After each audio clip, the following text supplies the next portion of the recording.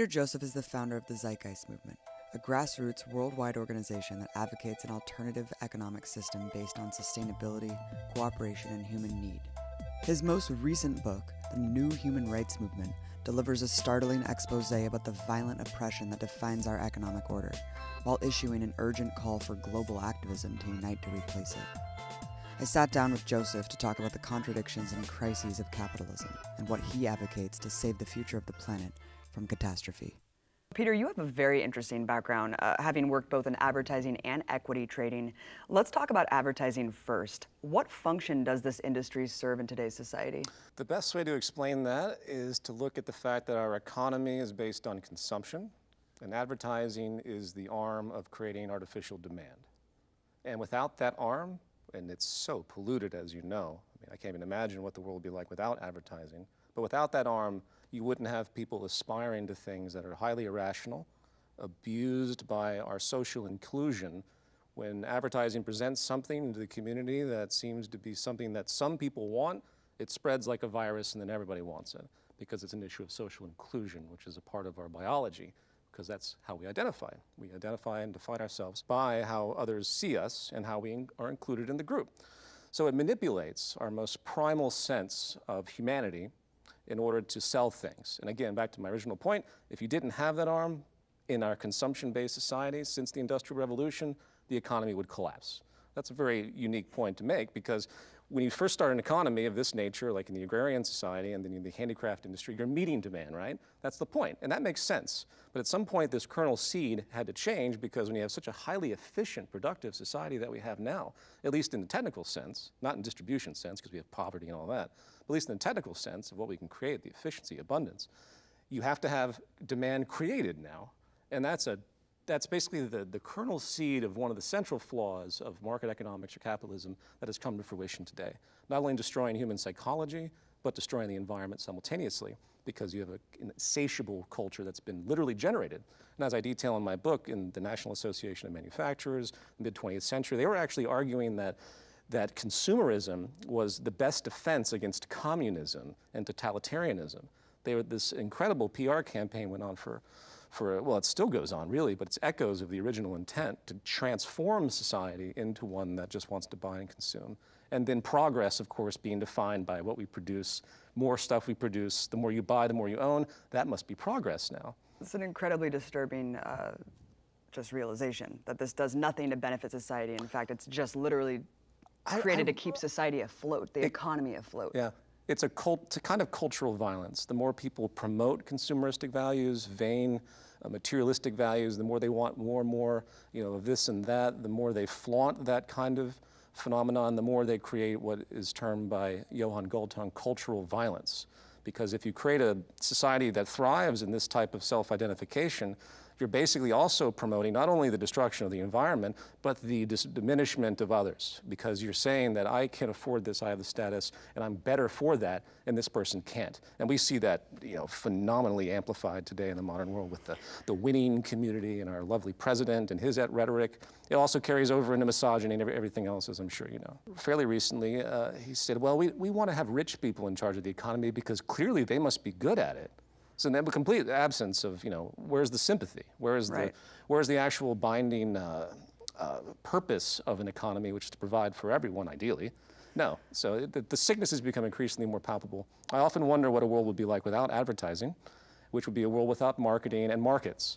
And it can tell you it would be a whole lot different and far more peaceful and sustainable and amiable and just uh, humane than what we see today. Mm -hmm. From an insider's perspective, how exactly does the stock market work? Stock market is a proxy system that was developed. Uh, it was contrived out of the original foundation, which were a board of directors for a company. So a bunch of people each have a million dollars. They get together, they invest, say, 10 of them, $10 million into a company, and then they get dividends, right? That was the, made basic sense, you know, years ago. But someone said, you know what? I want to sell this stock and this guy's gonna buy it from me for a little bit more, I'm gonna make money off of that. And then suddenly the exchange system began.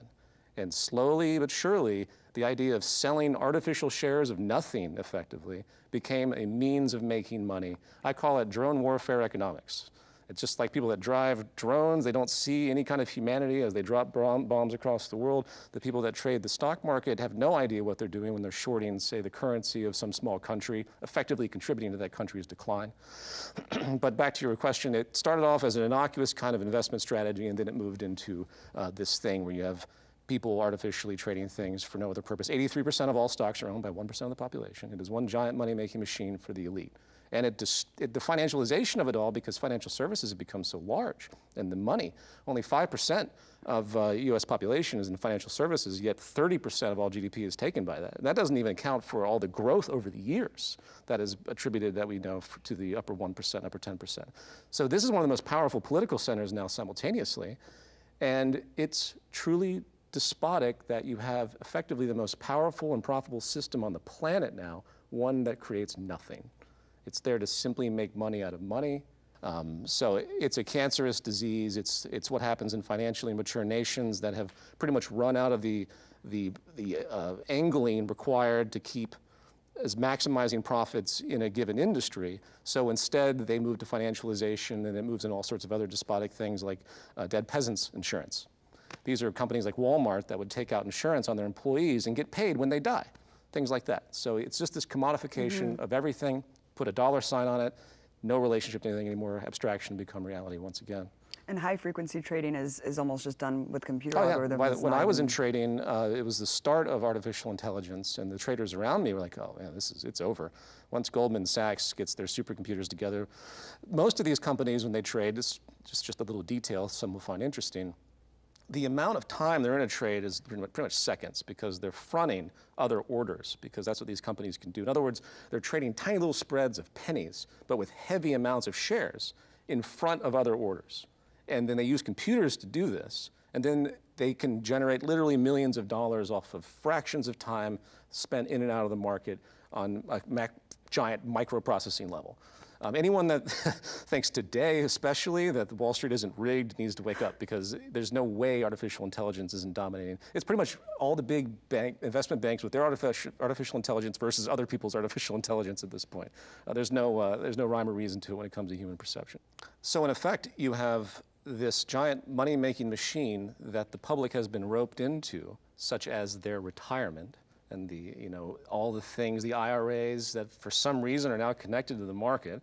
The market is inflationary driven, which gives it its artificial sense of, of uh, progress, meaning the more money that we pump into our society, the more it goes into the market, the more it keeps rising. So yeah, if you put in your retirement into, a, into the stock market, it will probably, probably rise. It'll crash periodically, and then people will make a fortune off of that too. So anyway, the whole society has been coerced into this nonsensical participation that effectively holds up the most giant and powerful political subclass, the financial sector.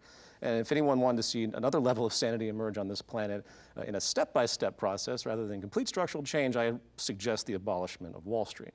It is, there's nothing positive about what this institution does. And those that say that it's there to help investment, you can invest in anything with direct money without the need to go IPO. The $700 billion float of Apple has nothing to do with what it actually produces at all. Mm -hmm. It's just what the, the people are trading and buying and moving the stock around. It's just the game. And it's too bad that people are so ignorant about that. Uh, it's a siphoning machine that is taking basically money from the lower class and bringing it to the upper class through different mechanisms. And, and, a lot of people who are middle class, lower class, don't invest in Wall Street because it's just completely too abstract for them. But everyone participates in debt-based currency and, and the way that the currency yeah. um, operates. How does it make sense that there is more debt than there is currency? Good question. Mainly because of the interest that's charged because we in capitalism every product has to have something that makes money excuse me that makes a profit.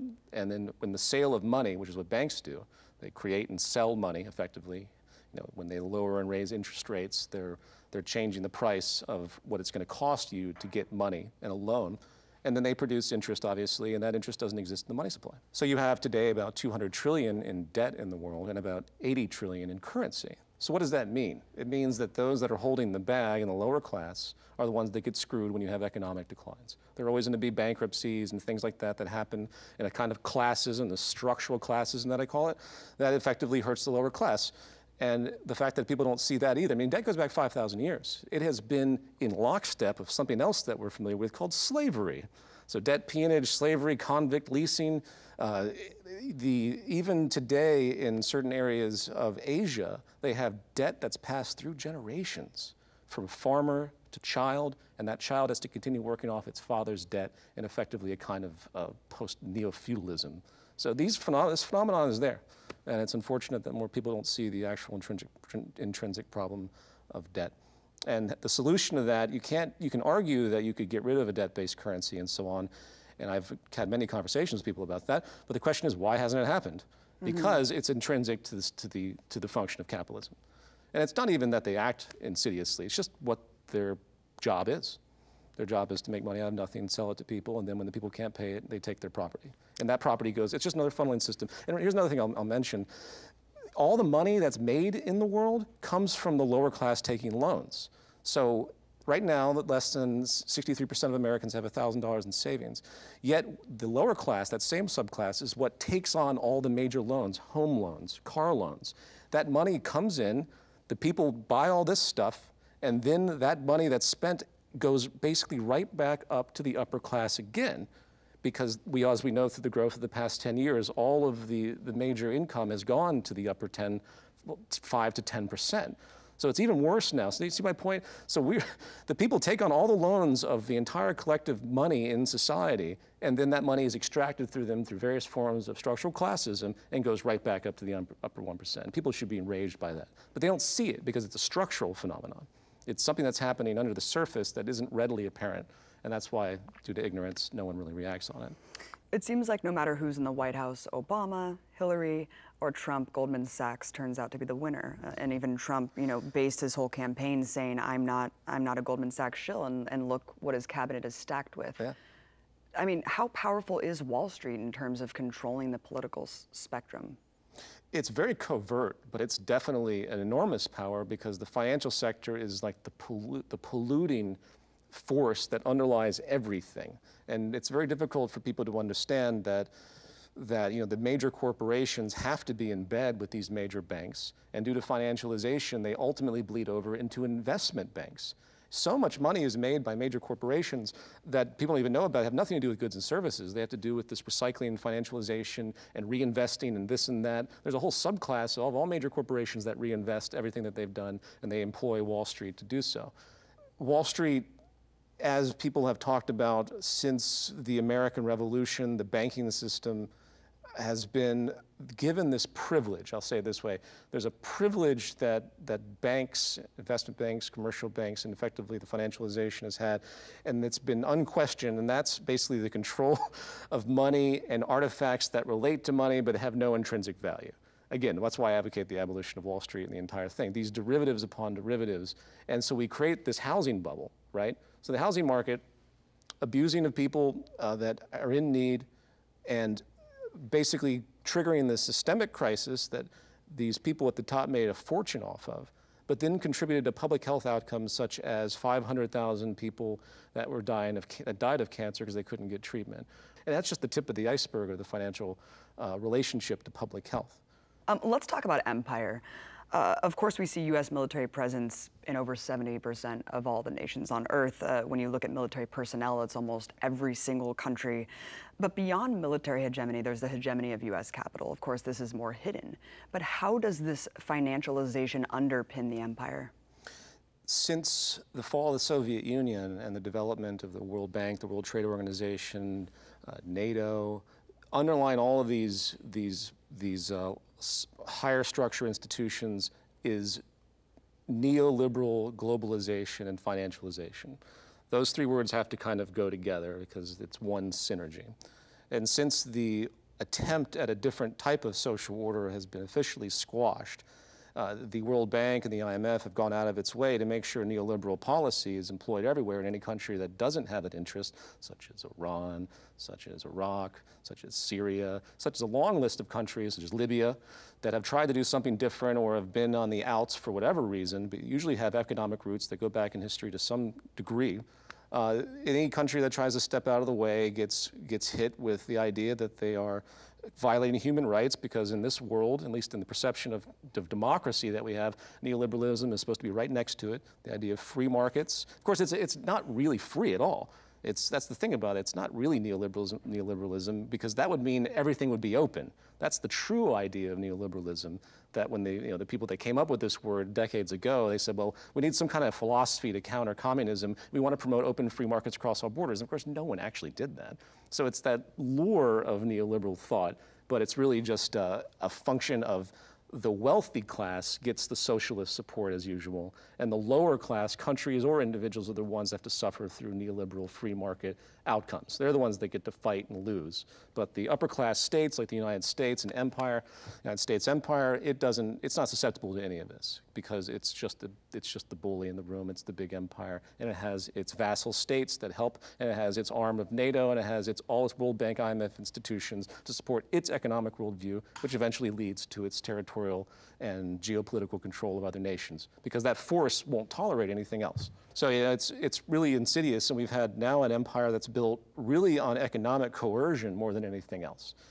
And I mean, the, the, military bases are still powerful. They're there and they're, they're clearly functional.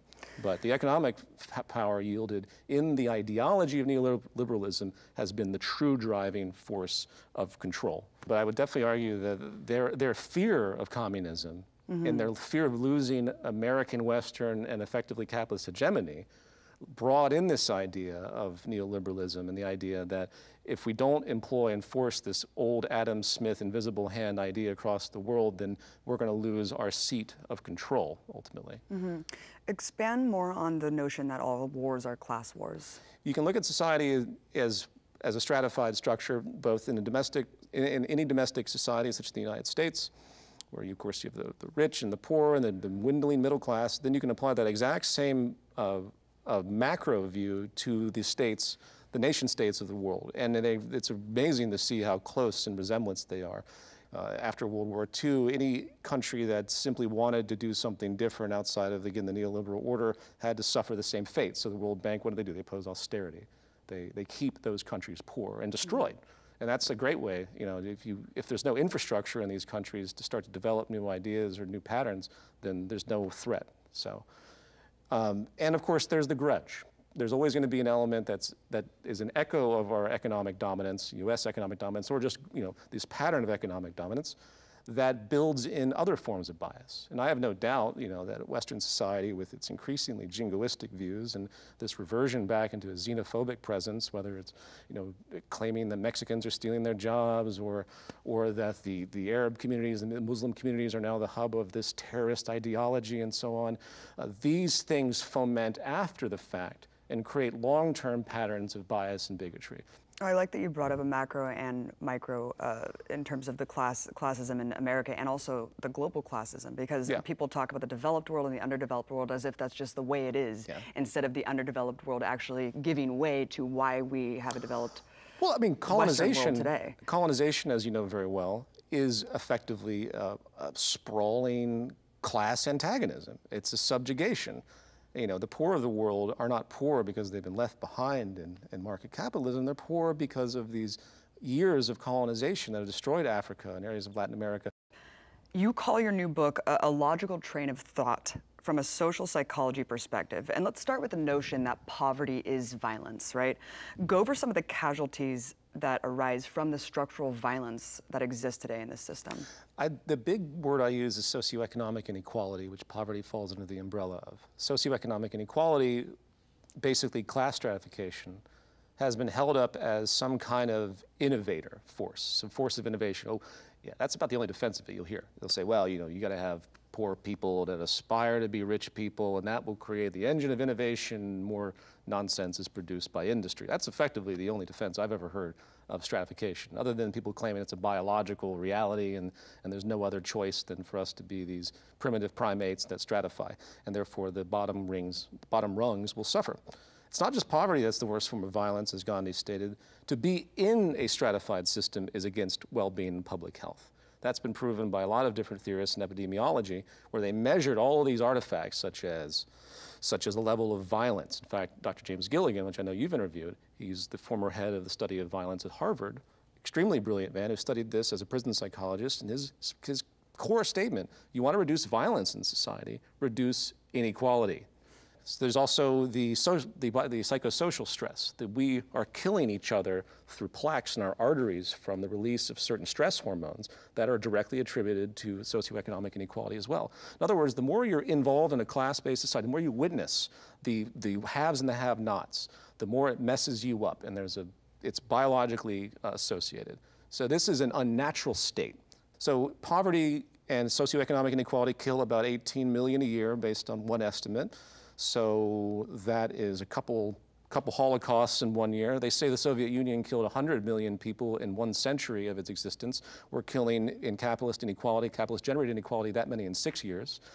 So the defense of a class stratified society is, is no longer existent in the public health research. Under, under capitalism, there's always going to be people who are poor, right? Why is this notion that this is just a constant inevitability that we have to accept. Poverty, unemployment in the system, booms and busts.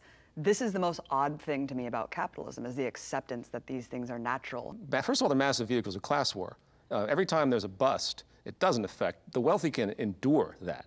So they can, they can find ways to work around it, but that creates cheap labor, boom, better for, better for the owners of the country and the owners of big business and finance. Uh, it, the, they take foreclosures, the financial services sector effectively booms during this because they're the ones that get to grab up everything the lower class can't pay for anymore. And then when the, the, the, the boom starts happening again, uh, the QE or all the things that the central banks do invariably go into the powerful corporate and financial sectors because we still have that philosophy of trickle down. We still have the idea that you have to pump money into big business and effectively the stock market in order to generate more activity that will float down to the lower class. So, it, yeah, it's really transparent. And no, it doesn't have to exist. Let's talk about the inefficiencies of the capitalist model versus the possibilities that exist today with modern technology. Paint a picture juxtaposing this crazy comparison from food to energy. Well, the greatest inefficiency would be the fact that we have poverty at all. So we talk about this advancement of society and this great productivity. The most powerful force, the most positive force we do have of the whole of human civilization is since the Industrial Revolution, we're able, we're able to do more and more and more with less and less and less. And that is the driving force that can create equitable, equitable distribution and peace on this planet. So the fact that you have five people now with more wealth than the bottom half of the world, and you have close to a billion people not getting their nutrition met, and you have what in by uh, Peter Edwards of Newcastle University put out what he called the ethical poverty line, which is based on lifespan, not the metrics put out by the UN. And when you use this ethical poverty line, you find that 60% of the world is actually in poverty.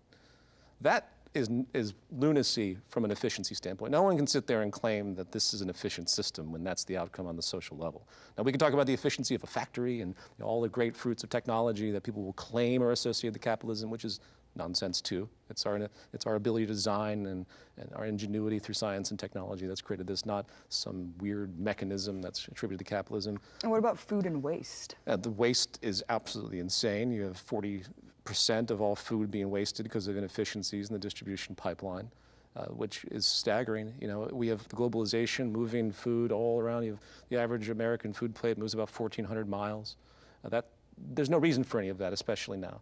If you go down the line of what's possible, you remove the, the chaos of human society and its strange beliefs and everything else, and you actually look at what we can do, then there's no reason for anyone to be hungry, obviously there could be an, an, incredible state of efficiency and abundance across food and energy and production. So when we talk about abundance, it's so confused with people because they, you know, I, I, get attacked all day long. Like, well, the world is, is, finite. You know, we can't make an abundance. What's, yeah, and it, what, it, obviously it's a relative notion. I mean, the, the sun will eventually burn out. It's abundant to us in the long term of time. So you, it's not about, you know, suddenly there's a magical amount of everything. It's about using the efficiency and, of course, focusing the economy on the interest to have an abundance because in our current society, it's the antithesis of what's rewarded. We reward scarcity. We want things to be generally scarce. This, the corporate construct does. Business doesn't want there to be an abundance of anything. So the pollution of the water supply, that's great for the water bottling companies. So we're rewarding the exact opposite. So you can't have sustainability, preservation, efficiency in a society that rewards the opposite. And therein lies the great con contradiction of the capitalist system. And in terms of energy, I mean, what is possible right now? I remember reading that just such a small area in like Africa could power the entire continent plus part of Europe. I mean, there, I, I do an analysis in the book that just looks at it looks at all the basic renewables, and each one of them has the capacity to create a global abundance and meet the current needs. And you put them all together in a synergy, and then make, make basic, what's called mixed use systems. It's a little bit technical, but we don't have any kind of systemic incorporation in our cities, not like they should be. Every single, every single house today should have solar panels that not only power the home as much as possible, but they run the energy back out into a central grid. Suddenly everything becomes an attribute of energy development. It's shared. And you do that if someone created a society that there's a few smaller cities in, cities, cities in Europe that are doing that with outrageous efficiency potential. So when you put all that together, uh, there's, it, it's absurd. It's absurd. You know, everyone in small pockets and these entrepreneurs are doing their best, you know, even uh, like Elon Musk and the battery technology, and they're trying to do something, but there's no concentrated focus. There needs to be a, basically a Manhattan Project to figure out what the best solution is globally to unify the synergies of all of our renewables and to make them all work. And if we did that, if we actually got the minds of, say, all the universities together right now, and you had a university project across the entire world and said, we're going to focus on this problem right now. What is the combination of renewables? How do we distribute it across the world? And how do we make it uh, create a, an abundance at zero cost effectively? And I guarantee if you did that, it would happen probably in six months. The intent of the, the business class isn't that they willfully want to repress sustainable, abundant resources and, and products. It's that they know deep down, just like everyone knows about a lot of things in their subconscious, that if they did that, they make themselves obsolete. And no business on this planet is going to try and make itself obsolete, no matter how green it claims to be. But that's what it leads to. If, any, if anyone really wants uh, to improve the ecological state specifically, the type of transformations required uh, would effectively would, would cut energy in industry back by half at a minimum there would not be that many people employed, and money would not be made anymore because we have that ability in technology now to create things that last, that will work, that will be modular, updatable, without that need of the servicing and constant um, over turnover that we see in the current energy uh, industry sector. Really quickly, let's go back to just what's possible. Can you explain the notion of vertical farming? Because I don't think a lot of people realize what that is and the potentiality. So I did an extrapolation in the book regarding vertical farming based on a study out of Columbia University and what I've calculated crudely, and I did this deliberately to give, show the extremity of it, if you apply vertical farms to the existing agricultural land, just in, in theory, I think it was a 15 story, you would produce enough food for 34 trillion people. Now, people say, well, we can't, obviously, you have different regional things and, and irrigation and so on, but yeah, but it makes moot when you look at that type of number of potential. And the reduction of energy, basically vertical farms allow for uh, extreme reduction in the need for fertilizer, the need for light and energy, and the need for water. And the, the study, the, the examples of this that exist in different places, granted, you're producing, uh, you're obviously not producing meat. I mean, and, and in truth, human society has to get away from, from animal agriculture anyway if it expects to be sustainable you have an incredible potential for abundance. And you put these in localized areas. You know, in New York, they've been converting some warehouses to start doing this. Very, very small amounts of investment is slowly being put into this, but it needs to be amplified rapidly because with the loss of topsoil, with 70% of our fresh water going to agriculture in the midst of what is effectively a, a water crisis by 20, by 2030, I think it was, the stat was 60% of the world will be in a water stressed area. Uh, it, it, there's nothing positive in those trends at all. So that's one great potential way to not only feed local populations well, but also to remove uh, the incredible ecological footprint that agriculture is doing today. Automation is also used constantly uh, as a talking point against the rise in labor standards, right? Against wage increases because it will take away these skilled jobs. We saw this in the 80s with, with car manufacturers. We see it today with restaurants, uh, fast food industry, um, stores, right? CVS, et cetera. You encourage automation because you say that it will liberate people. How? Well, there's a few levels to it. First, what has been the greatest source of oppression on this planet since recorded history? Labor. Yeah. So not only do, is, it, is it irresponsible for us not to apply automation because it's more efficient, it's safer, we can create more of an abundance with, more, you know, with less resources, um, it's also a dra dramatic shift in the way human relations has been.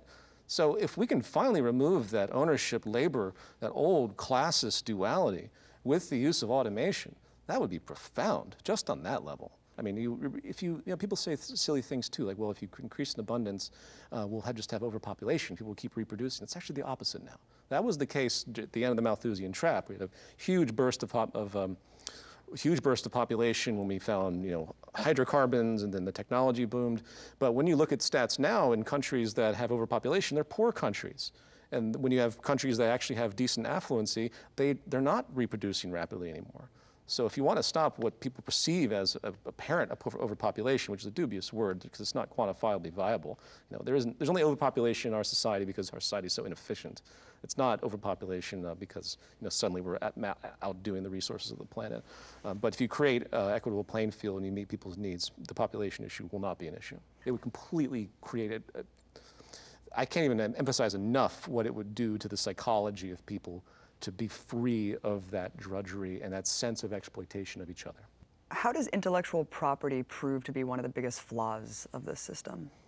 I, the main reason is that intellectual property restricts the open flow naturally and it allows, it restricts people's contribution to given ideas.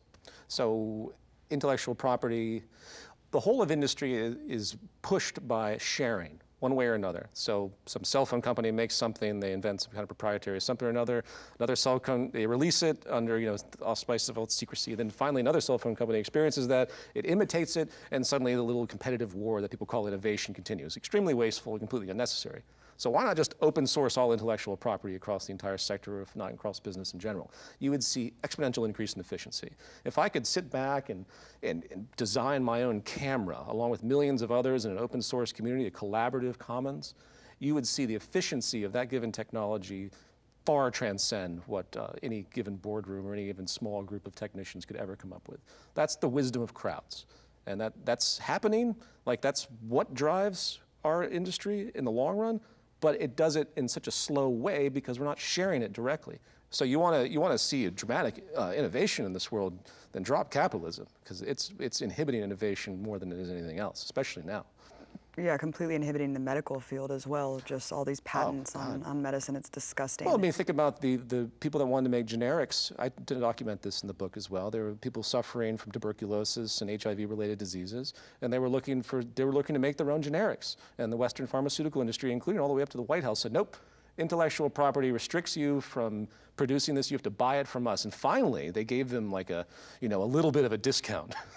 Because only hundreds of dollars, not thousands per pill, yeah. per cancer pill. No, and, and you bring up a good point. The medical industry, and it's is the best example of artificial scarcity. The idea that these pills cost. You know, I have a family member that had cancer, and they gave her this little thing, and they stuck it on her arm, and it was $17,000 for this little piece of plastic that simply injected a fluid in, into her. $17,000 there's no way. You're um, paying um, for yachts. Yeah, You're not paying there, for plastic. This is made by a machine in some pharmaceutical company in about five minutes with chemicals that are being mixed that are far from rare or scarce. It'd be different if they had to go all the way to Amazon and find something and, you know, no, it's, it's the biggest fraud industry out there. I, I think another fraudulent uh, fundamental basis of, of the whole system is competition because you know, we're all ingrained with the notion that all these technological advancements come from competition incentivizing, of course, the development of these ideas. You discussed the need to move from competitive to collaborative. Yeah. Why is competition not all it's made out to be? The first problem with competition in a market system where everyone's competing for market share, meaning money, the competition becomes, the innovation that's produced is artificial. It, they're not trying to improve on something to meet a human need. They're trying to improve on something to sell a healthy uh, uh, industrial system isn't trying to artificially create demand once again. It's there to meet demand. In fact, you don't want to artificially create demand because that means you're going to be reducing your sustainability. You want a minimalistic culture. You don't want what advertising is driving now. So that's an aside of what you're asking, but I think it's a very important point that people miss when they talk about innovation uh, through competition especially. So competition has been proven in many academic journals to be hideously hindering and neuroses producing. There's little evidence to say that the competitive industry of, of capitalism actually innovates in a way that's somehow superior to a collaborative system, especially if people have the same intent. So you can imagine, you know, anyone can sit and imagine the building of something, once again, in like an open source collaborative commons, and they know what they want. They can, they can infer what the next stage would be. It doesn't take this sort of imposition built on comp, comp, competitive coercion, effectively, to impose the demand upon them. So if we know what we want and we can infer the next stage of things, why do we need companies competing against each other? We can just, now we have the technology to work together. And again, it's, it would be that much more innovative if we did that. Yeah, no, I mean, when you look at just even your childhood development, I mean, in school, people are incentivized to cheat yeah. to get ahead.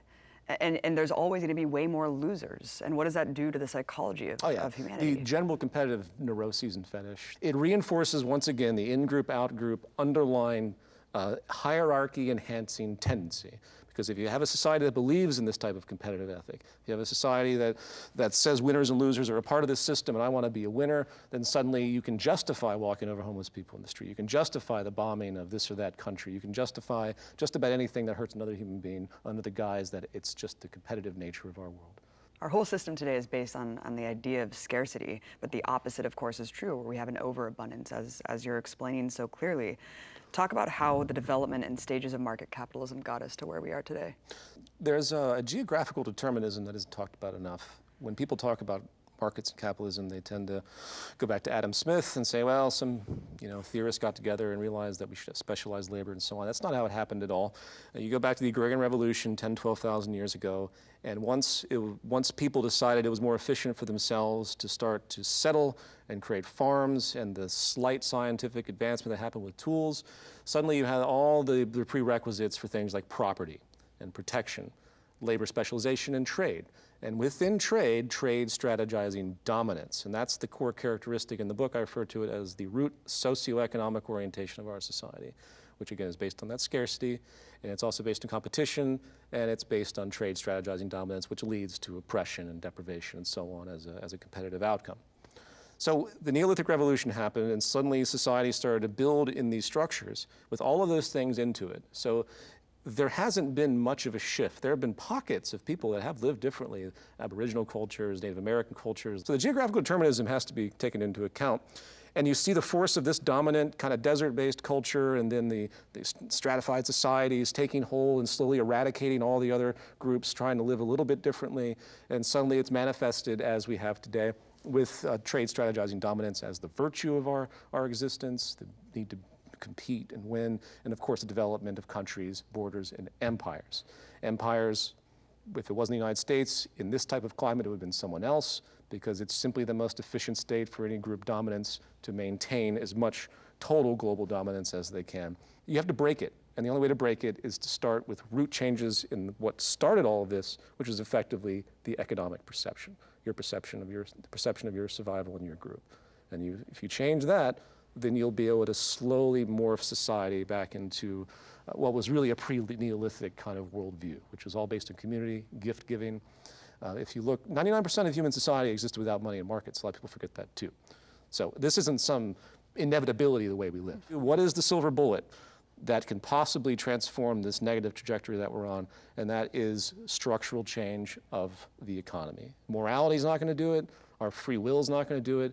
Our rational sense is not going to do it in and of itself because we are so inhibited and dominated by the structural psychology generated from our social system. And reforms aren't going to do it either, which is one of the main points of your book is that 21st century activism has been far too localized. Yeah, I, I, I don't like to be one to criticize all the well-meaning people in the activist community, but I think it's a constructive conversation to say if we don't, if we don't focus on the root and we keep sparsely drawing attention and this or that protest or this or that activist initiative to certain pockets of effectively problems, it just ends up running in place. The activist initiatives that are required now have to grasp that and realize that now it's time for galvanization towards removing the foundation of our social system and hence the market. We have to start to move, move away from market economics as rapidly as we possibly can to save our ecology and to save the stability of our society in terms of group relationships. The antagonism that's created with our class system builds into all the other antagonisms we see, whether it's, whether it's gender, whether it's race, whether it's nationalistic. So it, it's like that central kernel that keeps amplifying the worst of our group or anti-group uh, associations. How do we socialize and localize the enterprise, and who is standing in the way of this being done? And obviously, the, the forefront of it are the are the, the ownership class, as historically called. The power structure is defined by the ownership class. And going back to the state, the state has always been comprised of the heavy business interests of any given society, the heavy economic interests, even before business was a thing, so to speak. And who, who what, what incentive do they have to want to alter their position? That's why it's going to take a galvanized force of activists that is, the world probably has never seen in order to overcome this hurdle. And I, am not, you know, promoting any kind of violence or anything, but there has to be something that stops, this thing in its tracks uh, before the ecological, the ecological crisis, if it is allowed to materialize in the way the trajectories show, between climate change, between uh, the water scarcity, between all the other levels of pollution that, that are coming to fruition, the incredible amount of waste, you know, more plastic in the ocean by 2050, more plastic than fish in the ocean by 2050. Good God. Uh, the general destruction of the oceans, you know, overall because of various factors that are happening. Um, if this is allowed to materialize, and this is what I argue at the end of the book, it will just create that much more class antagonism and make it that much more difficult for us to pull out of, of this horrible uh, uh, in-group, out-group phenomenon and the oppression that we see. So there's a time limit ticking down because if things start getting literally scarce, remember the first, first and second World War were dominance wars. They weren't based on scarcity. The kind of wars in the future, if scarcity hits like it, it's going to, if we don't change, is they're going to be cataclysmic. The, the human society hasn't seen that yet hasn't seen an actual resource war, not a real one. Not when water is now limited and people are going to go to war over it. And it's ridiculous to even think that that would happen, frankly, because we have all the technology to resolve it. But the arrogance of the people that are in power and the, the myopic view of the business community is such that, again, they blinker these things out in favor of the general structure and they're willing to forego the well being of others uh, in euphemistically uh, in order uh, to preserve their positions. So.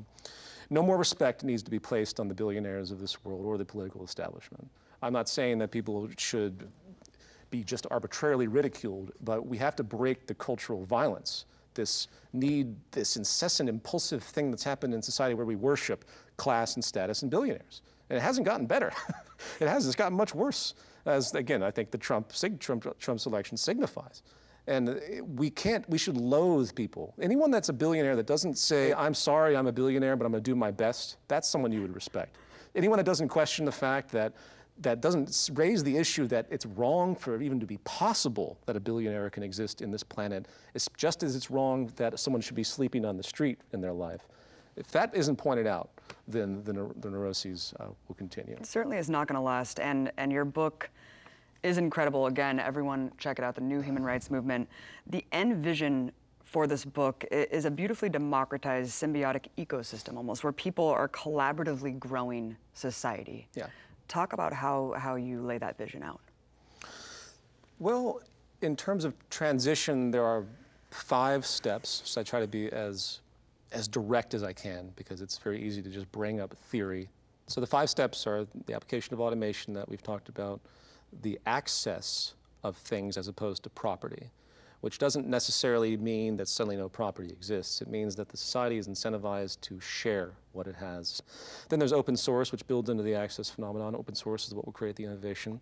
Then there's the localization phenomenon. That's, that's where we finally realize we keep a global sense but we realize we don't need to have all of this industry spread all over the world in order to satisfy community on the other side of the world. You know what I mean? So that's that one. And then the other one is this more difficult thing to bring up called digitized network feedback, which all that really means you track all the transactions that are happening, economic transactions, and it can be within a monetary system or without. And you have all the feedback that you need to know what's happening in an industry. So you put all these together, and you end up with a system that incentivizes people working together incentivize people sharing, all those kindergarten things that we're taught, remember? All those things that we're supposed to have in our values that are completely robbed of us uh, as we grow older and we realize that all the things we were taught as children that are ideal values were apparently wrong because no one ascribed to them anymore. And you have a non-competitive society, obviously, and you have a society that's actually sustainability focused because we're understanding what we're doing. So the, it creates peaceful coexistence, more peaceful coexistence, and peaceful coexistence with nature, meaning we're not overexploiting. And the only caveat to that, and I want to bring this back up because this isn't a totally deterministic, mechanistic, mechanistic view, is that we have to have a mature culture that doesn't thrive on this over-consuming, materialistic, vain uh, uh, idealism. That is the great, uh, that's the great argument I hear from people. But you know, this, I envision a world where people are actually able to to get what they need, and it becomes a social reality as opposed to a material and vindictive and status-based reality. It doesn't mean that hierarchy doesn't exist in the future or in an idealized society because there are other things that we do. I'm not a visual artist, you're a visual artist, I'm a musician. There are natural hierarchies that happen, and we respect those hierarchies because we appreciate the talents of people, not because they're they have more money than you, therefore you're supposed to glamorize them and look up to them as though they're better than you. That is a complete contrivance. So there's always going to be a natural hierarchy, which is good, because that proves our group mind, it proves our collaborative sense that you can do things that I can't do, and so on and so forth. That's what motivates the collaborative sense and the power of our society as a civilization. And if we can bring those form, that formula together, we could get everything back on track.